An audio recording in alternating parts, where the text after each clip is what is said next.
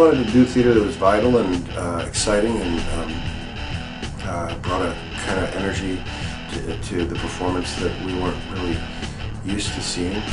Fuck off! And double fuck France! Cole, how is the message delivery? Everything's coming along smoothly. The evil of the Butcher of Babylon has been the lead story on local news rotation. The group is fed by a communal energy.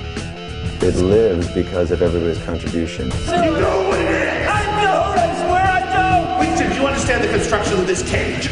Sometimes we use whiteface. Uh, sometimes uh, we use what we call a style. But mother, do I have to? My father said! yes!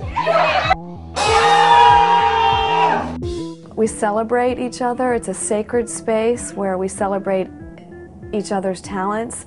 The States for me I like because it's clear. It's clear and specific and I know what it is and uh, there isn't a lot of mush around it. It's just specific and I like that because you can get right to it and it's bold.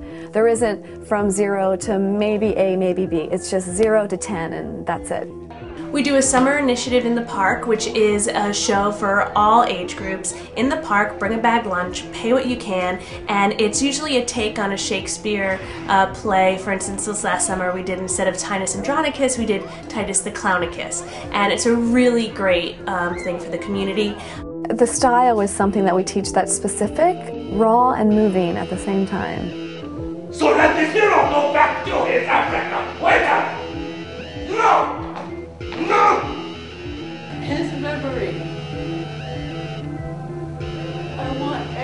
everyone who looks at me to see what happened to my son.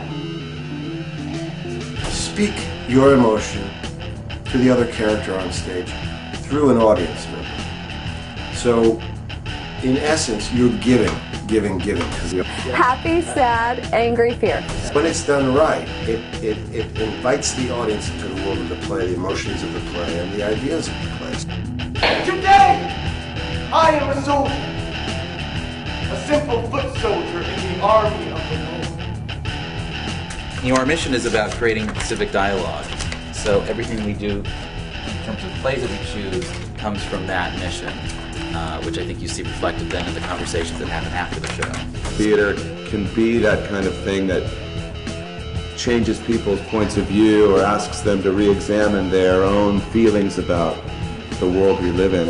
People aren't don't take to the streets in the way that they used to. Um, some of it is there are other ways to get things done rather than run out in the streets with a you know pitchfork and a torch.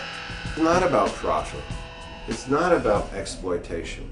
It's about sharing. It's about figuring out a way to to to um, create a community of actors that are all trained in the same way, that have a generosity with, with each other, so that we can affect in some way, help in some way our community.